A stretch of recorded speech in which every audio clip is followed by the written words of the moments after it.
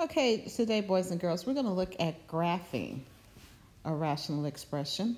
And we're going to do this in two days. Um, the first day is just basically finding the different parts of the graph, and then on tomorrow we'll do the actual graphing. So there are different sec. The first, there are different things that we have to find when we start graphing a rational expression. So one of the things we have to find is the domain. To find the domain, we look for where the x values um, of the function exist, or it's easier to find where they don't exist. And so to do that, we talked about that earlier. We have to set the denominator equal to zero, and that will tell us our restrictions, because remember the denominator can never be zero. Then we want to look for our x-intercepts. And our x-intercepts is where the graph crosses the x-axis, and we do that by setting the function equal to zero. Basically, we set the numerator equal to zero.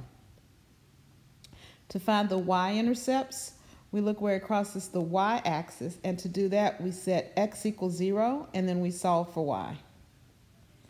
Vertical asymptotes are an imaginary line the graph crosses but does not intersect. So we want to factor to find our vertical asymptotes. We want to factor and set the denominator equal to 0. Now, we have to distinguish between a vertical asymptote and a hole. We also factor and set the denominator equal to zero to find the hole, but the hole is a place where it cancel, um, that factor cancels with the factor in the numerator. So that finds a hole. We also want to remember that we have to write our holes as ordered pairs. And the last thing we want to find are our horizontal asymptotes. Our horizontal asymptotes are also imaginary line. The graph approaches as x approaches infinity or negative infinity. And there's a little formula that we use to find this here. So if the highest degree in the denominator is, um, is if the highest degree is in the denominator, then the horizontal asymptote is y equals zero. So an example for that would be if I had um, um, 3x squared plus 2x minus 1 divided by x cubed plus 4. So my highest degree, the highest degree in the numerator is 2. The highest degree in the denominator is cubed. So because the highest degree in the denominator is higher, this horizontal asymptote would go to 0. If the highest degree is in the numerator, then there is no horizontal asymptote. So that would be the case if I had um, 4x squared plus 3x all over 5x plus 1. My highest degree is in the numerator, so this has no horizontal asymptote. And then finally, if the degree in the top and the degree in the bottom are the same, then we look at the ratio of the exponents. So if I had y equals 3x squared plus 5x minus 1 over, um, let's say, 2 x squared minus 1, then my horizontal asymptote would be 3 halves. Okay? So those are the three conditions to find a horizontal asymptote. Now don't worry about this because we're going to do some examples. I'm going to show you. We're going to start by finding those first three things. The domain, the x-intercept, and the y-intercept. All right, so in this problem to find the domain, I have to set the denominator equal to 0 or not equal to 0. So I have to say x minus 4 is not equal to 0, and x plus 3 is not equal to 0. So that gives me x is equal to 4, and x is equal to negative 3. Not equal to. So my domain, I can say my domain is um, all real numbers except x is equal to 4 and x is equal to negative 3. That's one way of writing it. Um, the proper way of writing it would be an interval notation, and I would say it goes from negative infinity to negative 3, but 3 is not included. That's why there's a parenthesis. And it goes from negative 3 to 4. 4 is not included. That's why there's a parenthesis. And then from 4 to infinity. Okay, so that is my domain.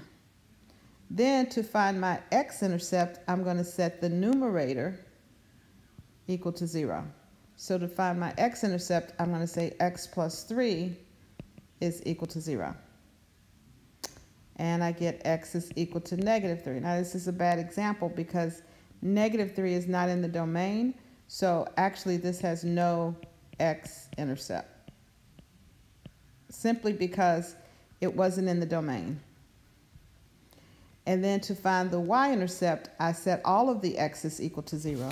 So to find the y-intercept, I say y is equal to 0 plus 3 over 0 minus 4, and then 0 plus 3, which gives me 3 over negative 12, which is negative 1 fourth. So my y-intercept, we write that as an ordered pair, so my y-intercept would be x is 0 and y is negative 1 fourth. All right, let's see if I did it better this time. My domain this time is x is not equal to, I'm sorry, let me rewrite that. My domain is x minus 2 is not equal to 0, which means x is not equal to 2. So I could say it's all real numbers except, I could if I could spell correctly. Let me put it this way. All real numbers except x is not equal to 2.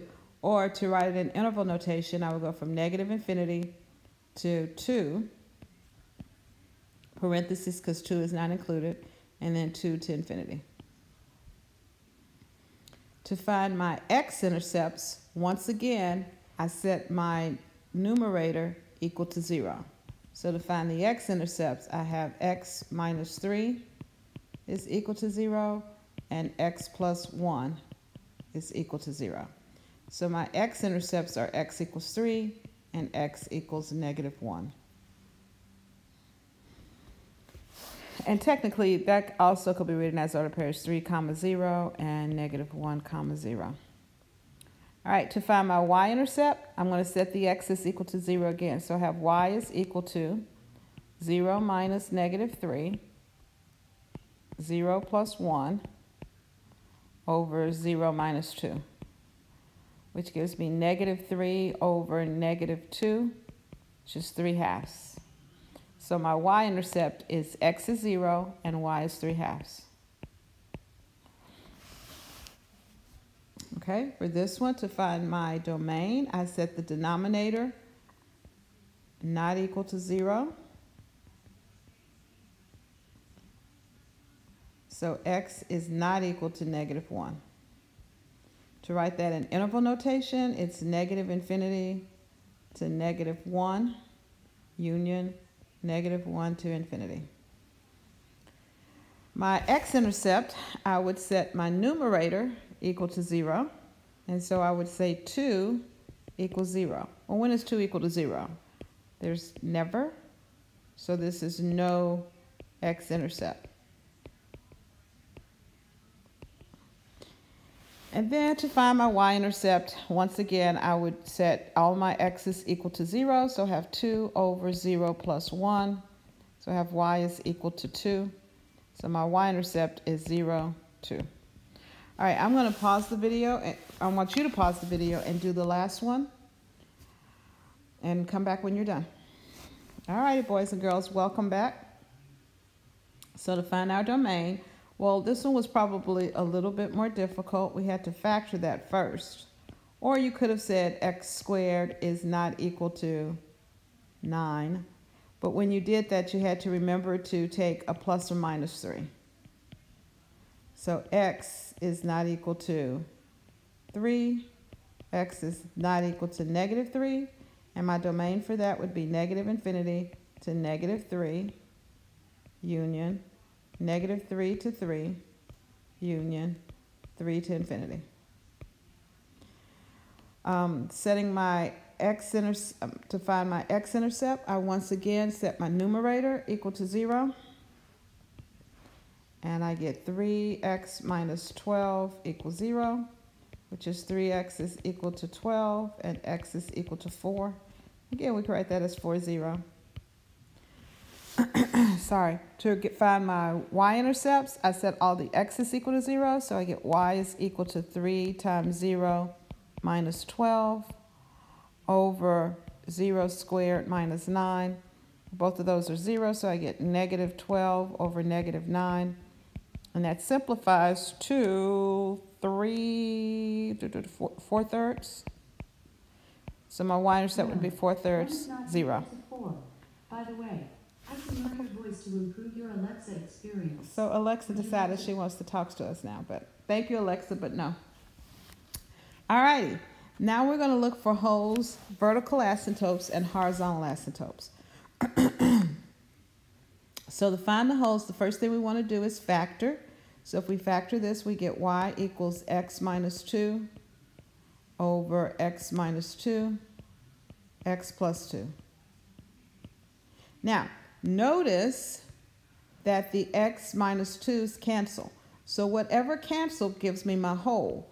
So my hole is going to be at x minus 2 equals 0, which x is equal to 2.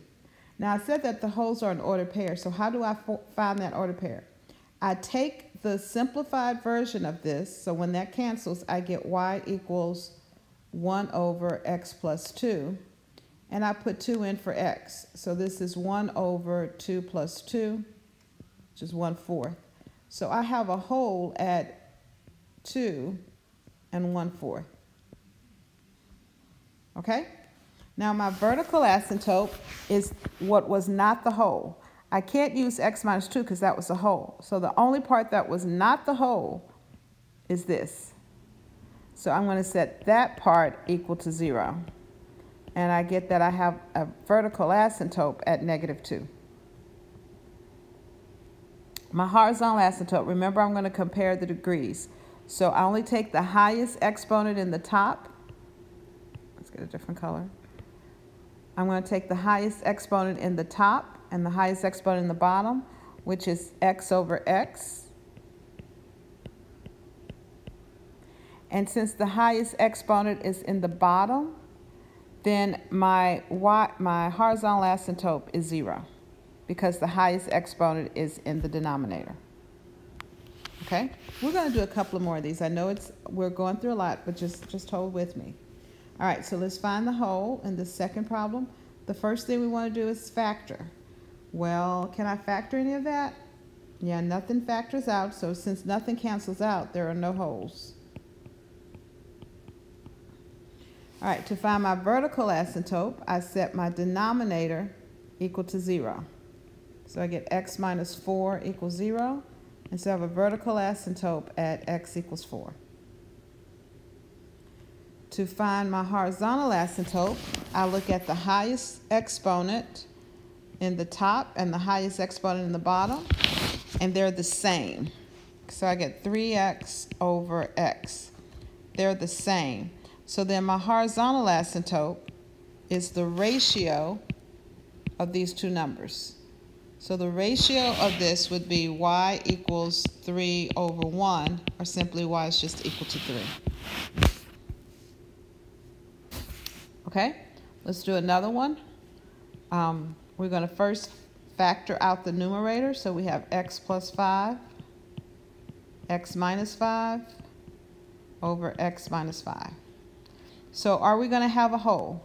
Yes, we have a hole because these cancel. So because these cancel, that makes a hole. So how do I find that hole?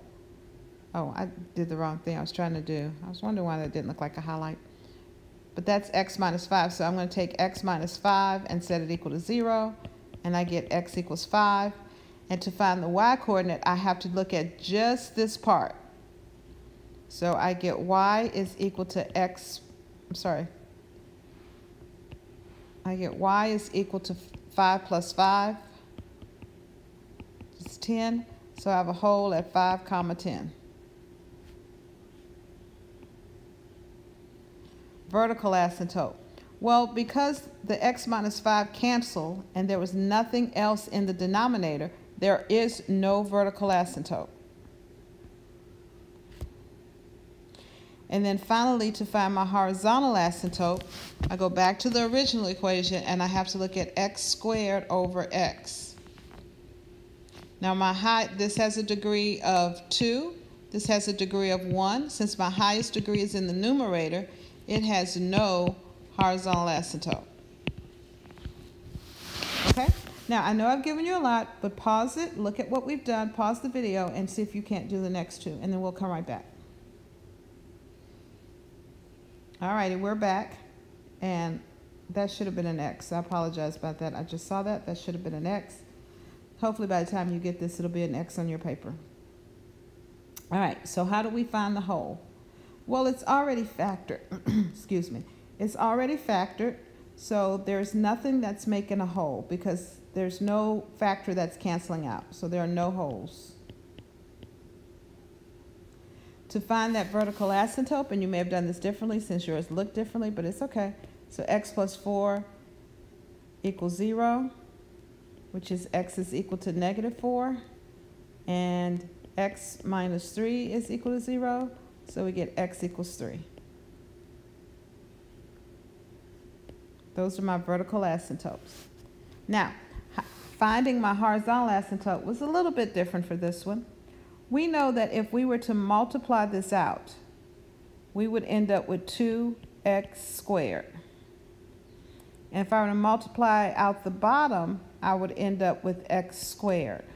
So that's what I'm going to compare. I'm going to compare the ratio of those two, and I get that I have a horizontal asymptote of 2. Okay? And in this one, it's already factored again, and so we see that those x's are canceling each other out. So the x's make a hole. So where's that hole? x equals 0. How did I find the value of that? I take the factored form, which would be negative 1 over x minus 1, and I put in 0, and I get um, negative 1 over 0 minus 1, which is negative 1 over negative 1. So I have a hole at 0 comma 1. Vertical asymptote, um, I, on the top I have x, but if I were to multiply this out, I'm going to get x squared minus x. So I have to compare, I'm sorry, vertical asymptote, I did that wrong. So I have to compare x to x squared because the highest is on the bottom, my horizontal asymptote is zero. And then to find my vertical asymptote, I would just set, since I've already canceled out the x, my vertical asymptote would just be x minus 1 equals 0, which I get x equals 1. Okay? So I know that covered a lot, and we will cover this again um, when we do the graphing part. So come back and we'll do the graphing and we'll put it all together.